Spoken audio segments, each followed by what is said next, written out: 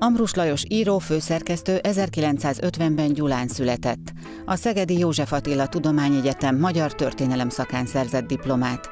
Vas megyébe 1978-ban költözött Berzsenyi Dániel szülőfalujában egyházas hegyén lelt új otthonra. Szombathelyen középiskolai tanárként dolgozott, és azonnal bekapcsolódott a megyei irodalmi életbe.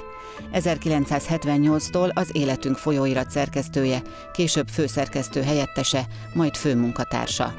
1994 óta vezeti a Kortárs Országos Irodalmi Folyóirat eszé és próza rovatát, 2010 óta a főszerkesztője. 2005-ben József Attila, 2010-ben Berzsenyi díjjal tüntették ki. Ambrus Lajos a mai magyar prózairodalom egyik kiemelkedő képviselője. Több mint tíz kötete jelent meg. Másfél évtizede rendszeres tárcaírója a magyar nemzetnek és a magyar időknek. Kiemelt feladatának tekinti szűkebb régiója, a Vas megyei Kemenesalja szellemi örökségének megőrzését, Berzsenyi Dániel falusfeleként kötelességének tartja a Hetyei költőgéniusz emlékének, aktuális szellemi üzeneteinek ápolását. Érdeklődésének célja a status absolutus, a gondolkodási és szellemi alappontok kijelölése, a tradicionalizmus és a korszerű magyar nyelv művelése.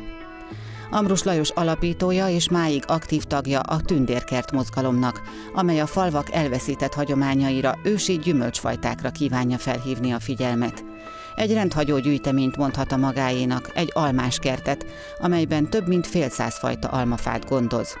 A Kissomjói hegyen szőlője is van, ide egy ősi somlai fajtát, szagos sárfehér telepített. Úgy tartja, ez Európa egyik legjobb bortermőhegye, ezért 2001-ben röpiratot tett közzé a megmentése érdekében, 2016-ban pedig könyvet írt a Somlai címmel.